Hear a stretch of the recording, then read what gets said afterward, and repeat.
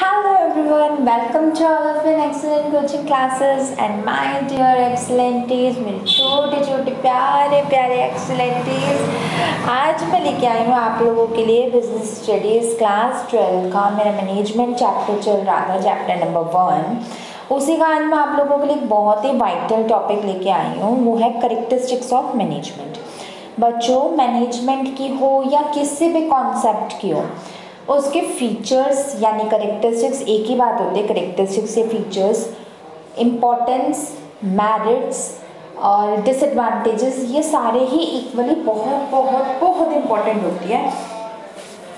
And they are the things which you must not forget इन चीज़ों को तुम्हें भूलना नहीं होता, इन चीज़ों को तुम्हें याद ही रखना होता है। So why waste the time अब टाइम वेस्ट किए बिना we should proceed with our video इससे पहले कि अगर आपने सीरीज़ नहीं देखी है स्टूडेंट्स तो पहले आप उन सीरीज़ को फॉलो अप कर लीजिए, तभी आपको ये समझ आएगा। Reason being this is a sequential process as well as continuous process अगर आपको स्टार्टिंग समझ में आए तो एंडिंग आपको समझ नहीं आएगी। सो बैटर इज़ दैट आप साइड बाय साइड सारी चीज़ों को कंसिडर करो। आज हम करेंगे फीचर्स या करेक्टरिस्टिक्स ऑफ़ मैनेजमेंट अगर आपसे कभी करेक्टरिस्टिक्स पूछा जाए तो फीचर्स भी एक ही होते हैं। Means features and characteristics in the meaning of both are same दोनों का मतलब सेम होता है। तो मैनेजमेंट के अभी मैं आपको फीचर्स बता देती हूँ। थर्रली सारे बता देती हूँ, फिर मैं आपको ईच एंड एवरी को एक्सप्लेन भी करूँगी। First one is your goal oriented let me focus on it first one is your goal oriented second one is your intangible, third one is your dynamic, fourth one is your group activity fifth one is your continuous process. Sixth one is your multidimensional. And seventh one is your pervasive. My dear students अगर आपको इनके अंदर की heading नहीं भी आती है, या अगर आपने इनके अंदर की हेडिंग नहीं भी लर्न की है नो no प्रॉब्लम आप एटलीस्ट ना इतने इनके नाम नाम तो ज़रूर याद कर लो, जिससे टीचर को ये पता चले कि हाँ बच्चे को एटलीस्ट इतना तो आता है। तो ये सेवन के सेवन नेम्स आप लर्न कर लो इनमें से कोई भी एनी फाइव को आप एक्सप्लेन कर लेना। What are they? Intangible goal oriented pervasive, multidimensional, continuous, group activity और dynamic. Got my point? चलो अब हम इसे साइड बाय साइड क्लियर कर लेता। आप अपने नोटबुक में जब नोट्स बनाओगे तो ऐसे आप बिल्कुल क्लाउड्स बना के लिखना।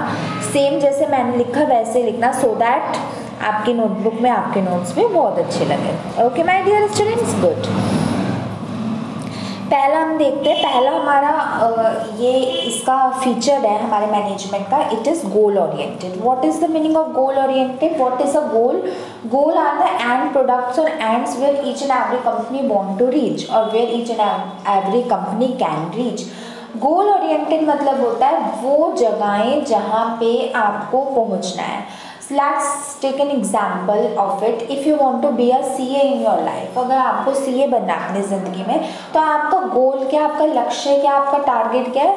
If you become a successful C A then you thinks that your target has been completed अगर आप सोचो, आपने जो सोचा वो आपको मिल गया तो आपका टारगेट कंप्लीट हो गया, आपका गोल कंप्लीट हो गया। तो ऐसी कंपनी के अपने अलग डिफरेंट गोल्स होते हैं, यानी उद्देश्य होता है, लक्ष्य होता है ऑब्जेक्टिव्स होते हैं। Everything in management is pre plan management में सब कुछ प्री प्लान होता है प्लानिंग एक बहुत ही इंट्रीगल बहुत ही इंपॉर्टेंट फ़ंक्शन होता है हमारे मैनेजमेंट का। है ना?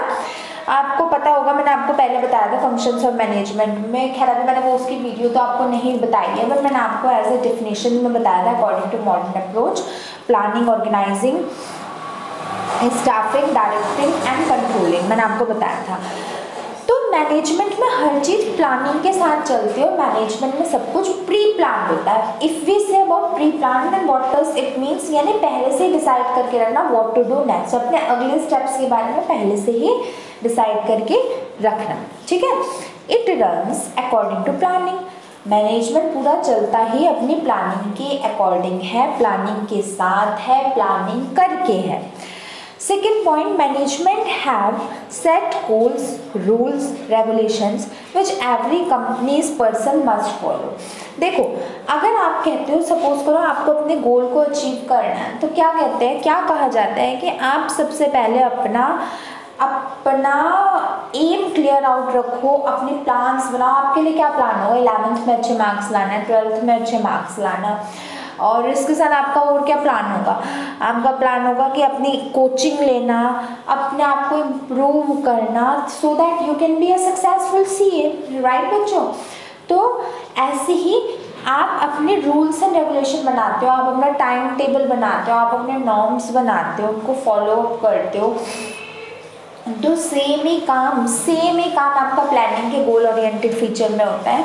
इसमें सारे रूल्स एंड रेगुलेशन होते हैं। जब वो बन के तैयार हो जाते हैं तो आपकी कंपनी के हर मेंबर्स को उन्हें फॉलो अप करना पड़ता है। So that to achieve their goal effectively is that clear students good second इसका फीचर देखते हैं। हम या करेक्टरिस्टिक्स कह लो। सेकेंड फीचर है मैनेजमेंट इज़ परवेसिव जब भी बच्चों परवेसिव वर्ड ना तो परवेसिव मतलब होता है यूनिवर्सल यूनिवर्सल मतलब जो चीज़ हर जगह सेम है। अब आप कहो एयर यहाँ पे आप कहोगे आपके लोकेलिटी में एयर है, और कहीं नहीं है। नो ना बच्चों it's not possible sunlight water कोई भी चीज़ जो परवेसिव होती है ना, उसका मतलब होता है यूनिवर्सल जो चीज़ हर जगह अवेलेबल होती है, जो चीज़ पूरे यूनिवर्स में अवेलेबल होती है। तो मैनेजमेंट को परवेसिव क्यों कहा गया? है मैनेजमेंट को परवेसिव इसलिए कहा गया, अब आपके दिमाग में बहुत ही इंपॉर्टेंट है बहुत ही बर्निंग क्वेश्चन आया होगा कि मैम मुझे एक बात बताइए कि रूल्स एंड रेगुलेशन तो हर कंपनी के डिफरेंट होते हैं तो फिर आप ये कैसे कह सकते हो कि मैनेजमेंट परवेसिव है? Yes students you are absolutely correct आप अपनी जगह बिल्कुल सही सोच रहे हो। मैनेजमेंट यूनिवर्सल हो, होता है लेकिन उसकी प्लान्स एंड पॉलिसीज़ तो डिफरेंट होते हैं। तो बच्चों यहाँ पे ये नहीं कहा जा रहा कि एक ही मैनेजमेंट हर जगह पूरा होता है। यहाँ पे ये नहीं कहा जा रहा कि एक ही मैनेजमेंट हर जगह पूरा होता है। कहा इसमें मैनेजमेंट को परवेसिव इसलिए कहा गया चाहे rules and regulation guiding principle directing principle her company के अलग हो बट हर कंपनी के हर जगह पूरे यूनिवर्स में मैनेजमेंट चाहिए होता है। ये नहीं कहा जा रहा है कि मैनेजमेंट की प्लान्स एंड पॉलिसीज़ चाहिए होती है मैनेजमेंट चाहिए होता है। मैनेजमेंट आपका सेम रहता है और वो आपको मतलब हर कंपनी में कुछ ना कुछ मैनेजमेंट के लिए मैनेजमेंट रिक्वायर्ड होता है जिससे वो सक्सेसफुल रन कर सके। मैनेजमेंट हमारी social boundaries political boundaries economic boundaries इन सबको नहीं कंसिडर करता।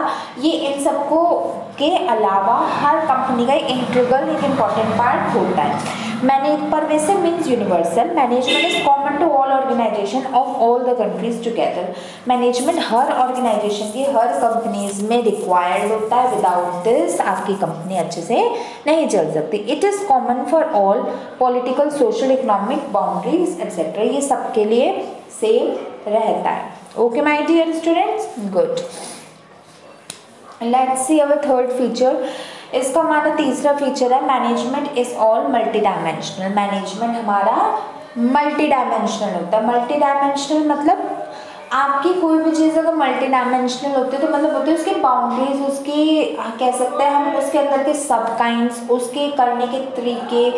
तो मैनेजमेंट की बेसिकली तीन बाउंड्रीज होती है, तीन डायमेंशंस होती है।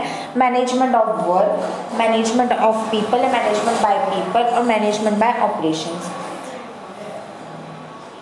ये क्या होता है, ये मैं आपको आगे जाके समझाऊँगी, क्योंकि ये आपका कॉन्सेप्ट आगे जाके अच्छे से है तो मैं आपको तब समझाऊँगी। अभी के लिए आप इतना लर्न कर लो कि management have three dimensions in it which are management of work, management by people और management by operation. Till now ये तीन पॉइंट्स आप लर्न कर लो। मैं बहुत ही ज़्यादा शॉर्ट एंड सिंपल नोट्स रखने की कोशिश करती हूँ सो दैट वो कॉम्प्लेक्सिटीज आपके में जनरेट ना हो। एटलीस्ट जितना मैंने लिखा है you should learn that much आपको उतना तो लर्न करना ही करना। है okay students good fourth one is your continuous process management हमारा कॉन्टीन्यूस प्रोसेस होता है। मैनेजमेंट कभी भी रुकता नहीं है। कभी भी मैनेजमेंट स्टॉप नहीं होता। There is no any chances that management has that management will stop in future ऐसा कभी नहीं होता कि मैनेजमेंट रुक जाए। वो हमेशा चलता रहता है। It is a series of continuous composite but separate functions perform by all the managers of the time अब देखो, इस पाइप, इस, इन बातों का क्या मतलब है? कंटिन्यूस कंपोजिट कंटिन्यूस कॉम्पोजिट का मतलब है मैनेजमेंट हमारा कंटिन्यूस तरीके से चलने वाले एक स्टेप्स होते हैं? मतलब ये हमेशा लगातार चलता रहता है। अब देखो, मैंने आपको कल की वीडियोस में अपने लेवल्स ऑफ़ मैनेजमेंट बताए थे। तो मैंने आपको बताया था there are different person who are assign to do the different work हर बंदे का अपना डिफरेंट वर्क डिफरेंट काम होता है। अब देखो, आप कहोगे सिर्फ़ टॉप लेवल का काम होता है? ना बच्चों टॉप लेवल का अपना अलग काम होता है मिडिल लेवल का अपना अलग होता है बॉटम लेवल का ऑल होता है। हमारा और का या इससे भी छोटे हमारे स्टाफ का कलीग्स का, उनका अलग काम होता है। बट होता सबका ही है। किसी एक के भी अपसेंस है ना, सारी सीरीज़ खराब हो जाती है। टॉप लेवल अपना काम करते रहे मिडल ना करे नॉट पॉसिबल मिडल वाला अपना करते रहे बॉटम वाले ना करे नॉट पॉसिबल तो कहने का मतलब ये है कि all are responsible doing the work हर को अपना काम खुद करना होता है, हर को अपना काम खुद करना ज़रूरी होता है। चाहे वो टॉप वाला हो मिडल वाला बॉटम वाला हो each and every person have to do their work separately individually और ये बहुत ही इम्पोर्टेंट कॉन्सेप्ट होता है। ठीक है? Fifth and last point of features of management is group activity of course ये मैंने आपको पहले भी बताया था, और आप आगे भी जाके प्रिंसिपल्स और मैनेजमेंट में चैप्टर नंबर अपने सेकंड में पढ़ोगे कि मैनेजमेंट में या कंपनी में आप अपने इंडिविजुअल ऑब्जेक्टिव को नहीं सोच सकते। आप कितने भी ब्राइट स्टार क्यों ना हो अगर आपकी टीम अच्छी नहीं हो then you will not be able to get success in your life आप अपनी ज़िंदगी में सक्सेस को नहीं अचीव कर पाओगे बिकॉज़ मैनेजमेंट में हर पर्सन को ग्रुप के कंसिडर करना होता है। हर पर्सन ग्रुप का कंसीडर करना होता है। आप अच्छे हो और आपकी टीम खराब है तो आप कभी नहीं जीत पाओगे। और आप अगर इन केस ऑफ़ बेकार भी और आपकी टीम अच्छी है then you will get all the success in your company so what is my point to clarify you is that कि मैनेजमेंट ग्रुप एक्टिविटी होती है और आप ना अपने कॉमन गोल को, अपने इंडिविजुअल गोल को नहीं कंसिडर कर सकते। आपका जो कंपनी का गोल होता है, वो आपका गोल होता है। आप ये नहीं कहोगे कि सपोज़ करो, एक पर्सन है, चलो, कोई भी नाम ले लो सपोज़ करो राम है। तो राम ये नहीं कहेगा कि मैं अपना टारगेट पूरा कर रहा हूँ, ये मेरी कंपनी ये मैं अपना काम कर रहा हूँ। राम कहेगा अगर वो इन्फोसिस में लगा हुआ है तो राम कहेगा, मैं इन्फोसिस का टारगेट पूरा कर रहा हूँ। मीन्स कहने का मतलब ये है you are not a individual belonging if you are the part of a company your target is a group target and group target is a company's target ठीक है? तो it is a group activity which is done by the number of people together to achieve a common goal सबका common गोल होता है। Common goal कौन सा गोल होगा? जो कंपनी का गोल होगा, वही सब लोगों का गोल होगा इंडिविजुअली ठीक है बच्चों? स्टूडेंट्स आज की वीडियो में हमने पढ़ा कि करेक्टरिस्टिक्स ऑफ़ बिज़नेस क्या मैनेजमेंट क्या होता है। हमने ये अच्छे से क्लैरिफाई कर लिया। अब बच्चों, आप लोग कहोगे कि मैंने केस स्टडी नहीं दी। हाँ मैंने आज उसकी केस स्टडी नहीं दी। मैं ना आज के बदले में जो अपने कल की वीडियो डालूँगी, उसमें मैं आपको कंबाइंड केस स्टडी दे दूँगी। आपको इस वाले की भी और अगले वाले कॉन्सेप्ट की भी, जो भी मैं नेक्स्ट बनाऊँगी। टिल देन आज के असाइनमेंट क्वेश्चंस में वही क्वेश्चन है डिफाइन ऑल इन सबको डिफाइन करो, मैंने करेक्टरिस्टिक्स ऑफ़ मैनेजमेंट अपनी लैंग्वेज में डिफाइन करो। और if you have any doubt regarding any topic of this video और of previous videos also then you just feel free to ask me. I am every time happy to help you out. Okay students then we'll meet you very very soon. Till then goodbye stay tuned. Thank you so much for watching my video. Complete the work complete the target. This is 12th crack bell.